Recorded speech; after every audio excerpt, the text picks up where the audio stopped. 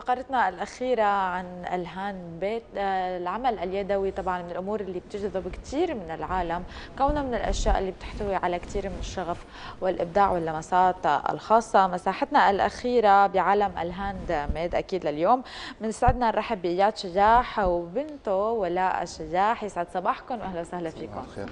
أهلا وسهلا. يسعد صباحكم. أهلا وسهلا فيك. بالبدايه رح نبلش معك سيد إياد ونحكي اليوم عن هي الشراكة بين الأب وبنته.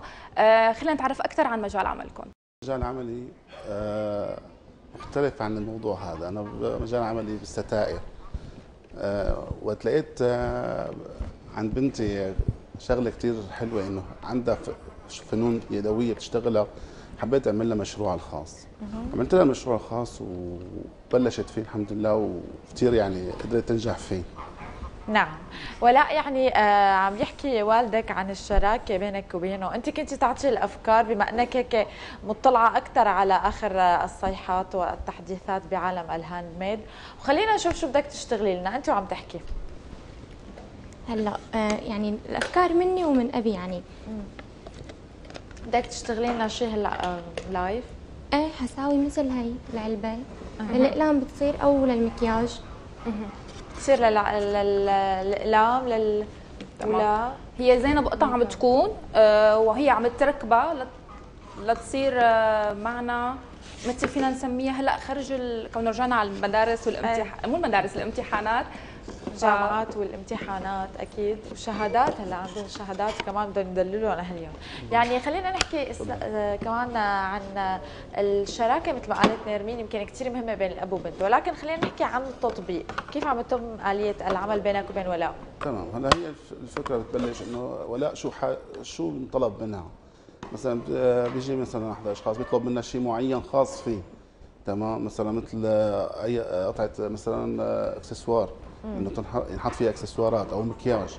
هلا هي هون بت- بتحط أفكارها شو بدها بترسم على ورق شو بدها. بتعطيني أنا بعمل لها إياهم على الكمبيوتر بصمم لها بظبط لها القياسات هلا في المرحلة الثانية بتكون هي مرحلة الإنتاج، مرحلة الإنتاج بتصير عن طريق ماكينة ليزر. نعم.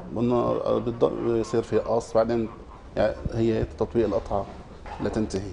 نعم. تمام. يعني هلا كل شيء شايفينه هون هو من آه، تصميم؟ من تصميم ولا. من تصميم آه، أكيد. ولاء تمام. آه. آه خلينا هيك نستعرض شوية نماذج. هي القطعة مثلا. هلا هي قطعة تعتبر مثلا نحط فيها صورة طفل صغير.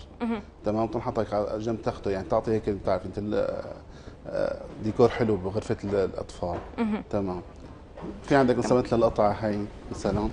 عندك هي قطعة مثلا بتنحط على المكتب قدام أي شخص مثلا بحط فيها كتبه بحط فيها أقلامه بحط فيها احتياجاته الشخصية تمام؟ هاي الفكرة يمكن كثير مميزة عم نحكي كمان. تمام. تبع الكتب آه، يمكن هي الفكرة. ممكن في حدا يعطيك إنه بدي الألوان آه،.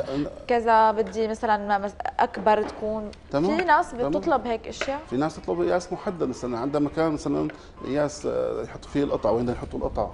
نعمل له على حسب القياس اللي بيطلبوه هن نعم. نعم. تمام. كمان عم نشوف مج- كثير حلوة. صندوق مجوهرات هذا شكل دائري يعني لف تمام. هي من القطع المميزة. تمام. كمان من تصميم ولاء تمام. تمام. أكيد. شو نوع الخشب اللي عم بيكون؟ هلا خشب هو الخشب ال MDF ال MDF تمام. قد ممكن يضاين مع ال- هلا طول ما معتنين فيها القطع ما بصير لها شيء. يعني بتعيش. يعني إحنا في عندنا قطع مثلا شارينا من زمان موجودة عم نستعملها يعني. آه تمام. تمام. خلينا نروح لعند ولاء آه، ولاء انت آه، صف 11 هلا.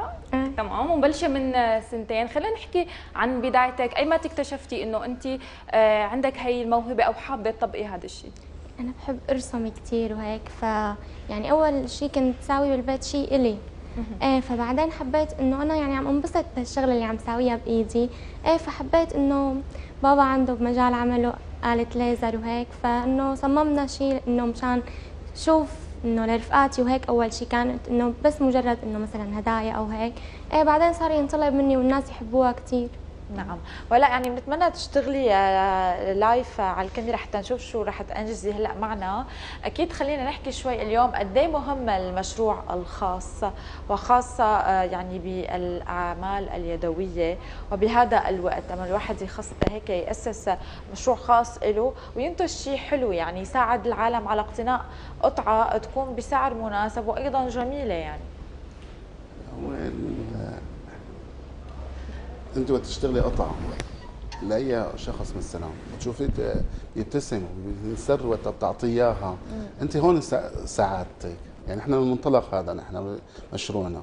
انه وقت بنحس سعادة الناس بالقطعه اللي عم نعطيهم إياها خاصة وقت تكون عليها صورهم أو اسمائهم نعم. نعم عليها صورهم أو اسمائهم يعني انت بتنسري إنه هن يعني انسروا بالقطعه اللي أخذوها.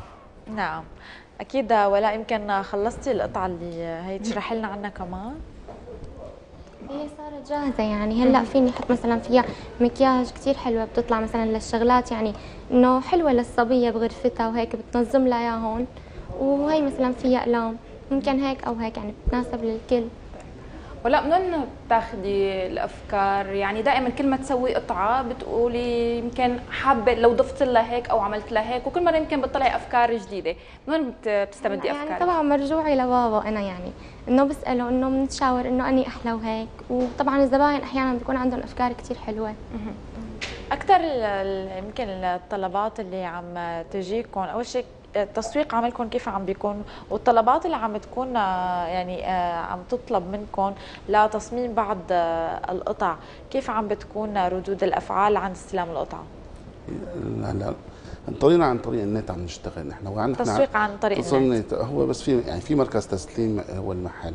نعم. آه هلا نحن وقت مثل ما سبق قلت لك إنه آه، نحن الشخص اللي عم يطلب منا القطع في عنا بيجينا أيام أحيانا أشخاص بكون ذوقهم كثير آه، يعني رفيع هيك آه، بدهم قطع هيك مميزة. عم نقدر نحن نتواصل مع ولاء عم يقدروا يوصلوا لها فكرتهم شو بدهم.